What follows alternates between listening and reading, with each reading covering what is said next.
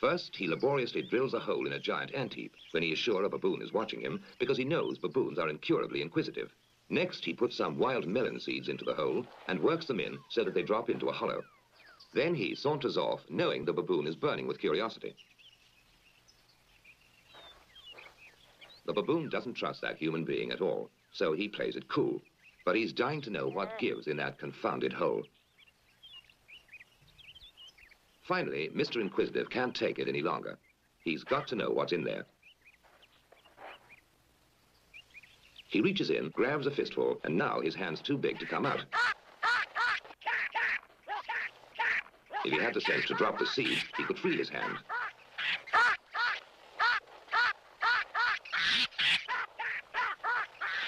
Now he lets go when it's too late.